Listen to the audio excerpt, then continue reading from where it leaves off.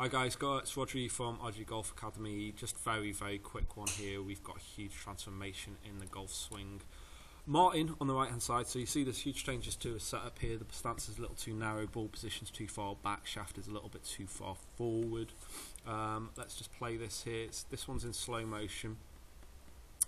Uh, his golf swing is very quick. You can see his hands get behind him. Quite narrow on the takeaway, and then there's a huge lean back as he's coming in through the golf ball. So he's catching behind the ground. Let's play that again. Let's have a look at this takeaway, especially. He's taking the golf club away. It gets a little narrow. Right arm folds in a little bit too early. Body tilts a little bit. Club behind him has to reroute him, and he leans back into this finished position. Check this out here. Unbelievable. So this is real time what a difference that is. Let's put that, that deserves full screen.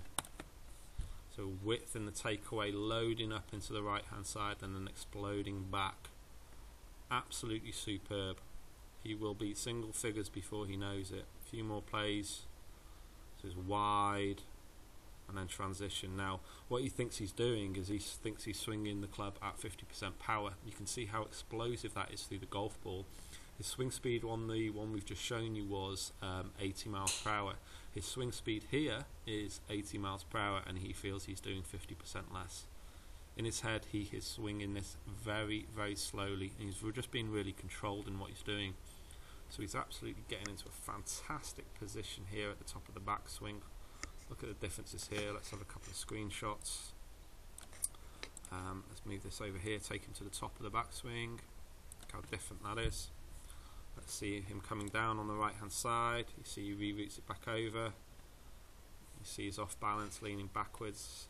Problems with catching behind the ball. On the right hand side, just pow. Exploding through the golf ball. Unbelievable.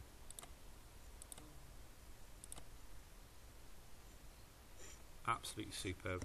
A couple more full screen because I know he's going to be watching this again and again and again.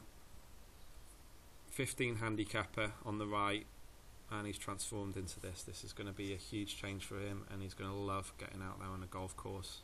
Well done, mate.